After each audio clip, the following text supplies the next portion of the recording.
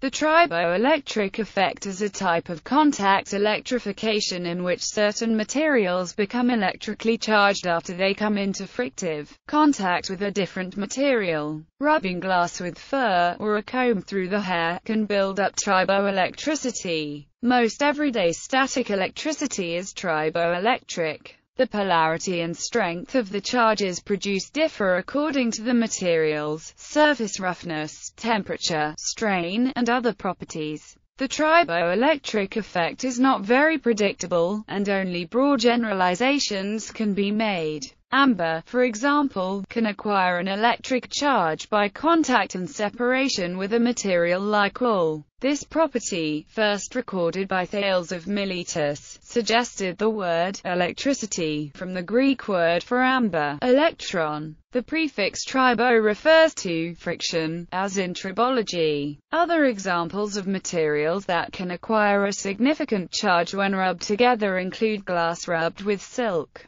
and hard rubber rubbed with fur. Triboelectric series John Carl Wilcke published the first triboelectric series in a 1757 paper on static charges. Materials are often listed in order of the polarity of charge separation when they are touched with another object. A material towards the bottom of the series, when touched to a material near the top of the series, will acquire a more negative charge. The farther away two materials are from each other on the series, the greater the charge transferred. Materials near to each other on the series may not exchange any charge, or may even exchange the opposite of what is implied by the list. This can be caused by rubbing, by contaminants or oxides, or other variables. Lists vary somewhat as to the exact order of some materials, since the relative charge varies for nearby materials. From actual tests, there is little or no measurable difference in charge affinity between metals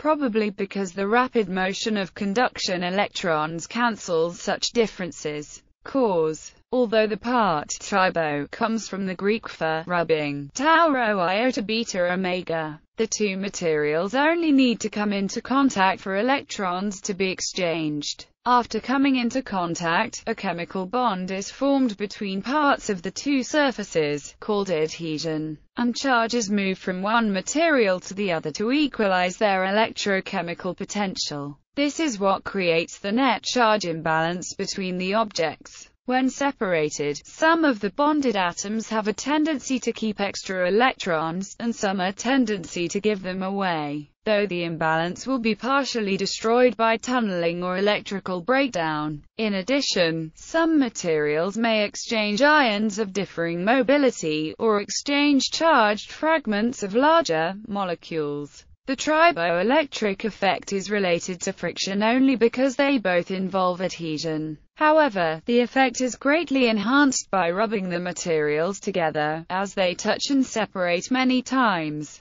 For surfaces with differing geometry, rubbing may also lead to heating of protrusions, causing pyroelectric charge separation which may add to the existing contact electrification, or which may oppose the existing polarity. Surface nano effects are not well understood, and the atomic force microscope has enabled rapid progress in this field of physics sparks because the surface of the material is now electrically charged, either negatively or positively. Any contact with an uncharged conductive object or with an object having substantially different charge may cause an electrical discharge of the built-up static electricity, a spark. A person simply walking across a carpet may build up a potential of many thousands of volts, enough to cause a spark 1 centimeter long or more. Low humidity in the ambient air increases the voltage at which electrical discharge occurs by increasing the ability of the insulating material to hold charge by decreasing the conductivity of the air, making it difficult for the charge buildup to dissipate gradually.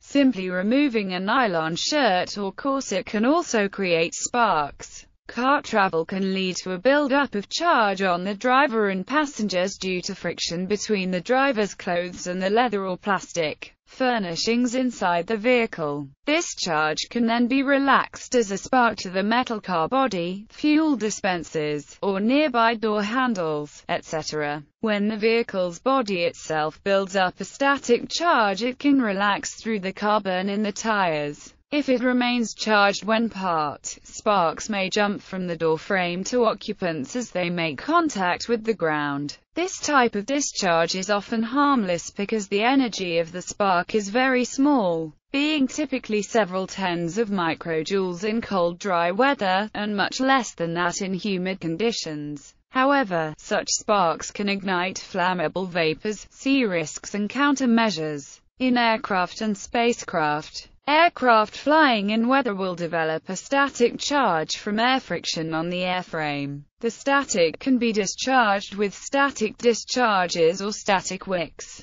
NASA follows what they call the triboelectrification rule whereby they will cancel a launch if the launch vehicle is predicted to pass through certain types of clouds. Flying through high-level clouds can generate p-static which can create static around the launch vehicle that will interfere with radio signals sent by or to the vehicle. This may prevent transmitting of telemetry to the ground or, if the need arises, sending a signal to the vehicle particularly critical signals for the flight termination system. When a hold is put in place due to the triboelectrification rule, it remains until Space Wing and observer personnel such as those in reconnaissance aircraft indicate that the skies are clear. Risks and countermeasures Ignition The effect is of considerable industrial importance in terms of both safety and potential damage to manufactured goods. Static discharge is a particular hazard in grain elevators owing to the danger of a dust explosion.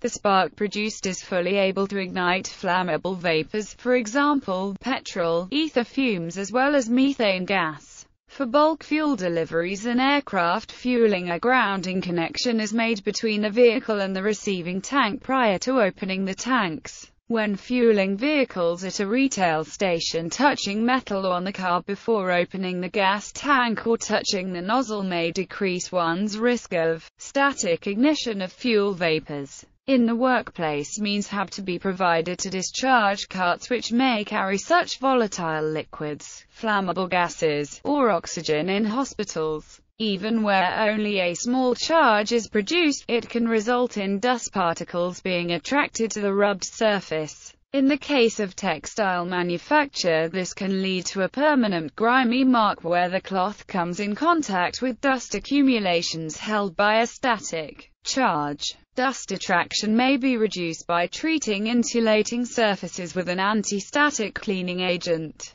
Damage to electronics Some electronic devices, most notably CMOS integrated circuits and MOSFET transistors, can be accidentally destroyed by high-voltage static discharge. Such components are usually stored in a conductive foam for protection. Grounding oneself by touching the workbench or using a special bracelet or anklet is standard practice while handling unconnected integrated circuits. Another way of dissipating charge is by using conducting materials such as carbon black-loaded rubber mats in operating theaters. For example, devices containing sensitive components must be protected during normal use, installation, and disconnection, accomplished by designed-in protection at external connections where needed. Protection may be through the use of more robust devices or protective countermeasures at the device's external interfaces. These may be opto-isolators, less sensitive types of transistors, and static bypass devices such as metal oxide varistors.